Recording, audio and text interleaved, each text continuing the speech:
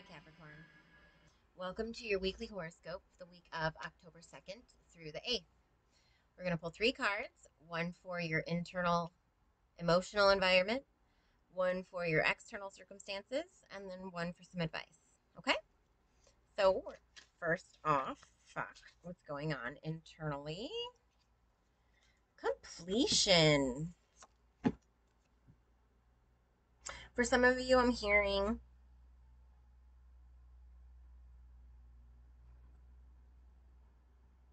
you're going to feel like accomplished.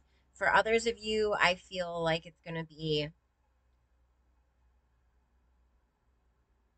something's coming to an end, something's coming to a head. Like you know that you're about to end something. Okay.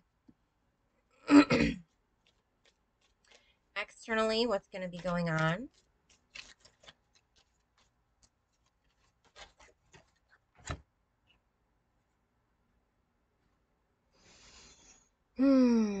The Knight of Coins. The Knight of Pentacles is very strong and very stable. Mm, slow moving, reliable, predictable. But they were like this. So, someone or something in your life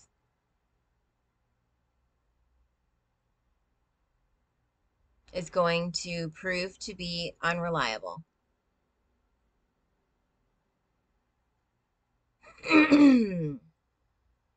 okay.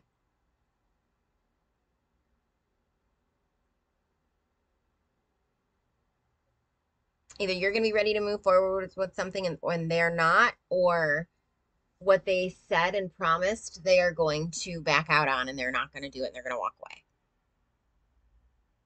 or or quit or give up. Okay. So with this sense of completion, I'm feeling like um those of you that feel accomplished, you're going to be able to handle it in a way that is like, it's okay. Fuck you. I got you. Fuck you. We got it covered. Don't fucking worry about it. And then those of you that are feeling like something has to, you know, something's coming to a head, uh, you're about to end something. It's like those those of you like that you can kind of see this and you can tell that um it's not going to be stable. And so when it does happen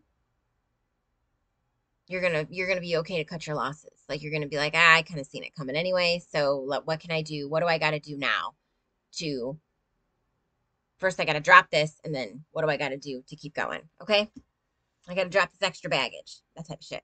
What is your advice?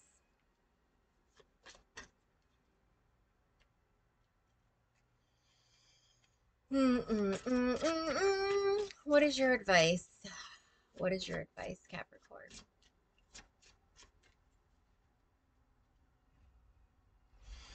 Satisfaction. Trust that you are always given exactly what you need in each moment, every day, and in every way.